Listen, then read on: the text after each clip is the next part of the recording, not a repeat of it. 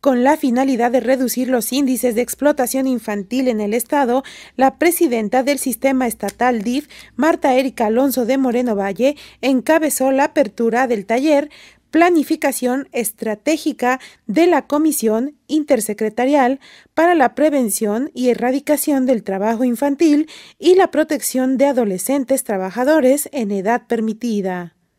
Quiero comentarles que como presidenta del patronato del sistema estatal DIF, estoy convencida de la importancia de procurar mejores condiciones de vida a los menores poblanos, porque ellos, como lo sabemos, no solo son nuestro presente, sino también el futuro de toda sociedad. Es por eso que hoy también quiero agradecer el respaldo de todas y todos quienes conforman esta comisión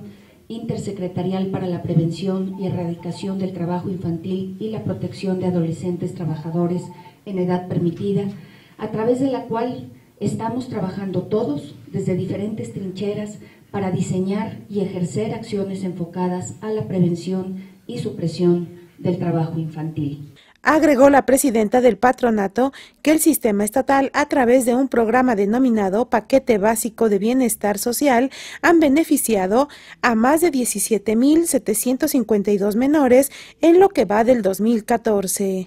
Esto por medio de la impartición de talleres y asesorías jurídicas. Con imágenes de Josué Guzmán, informó para Puntual Aurelia Navarro Niño.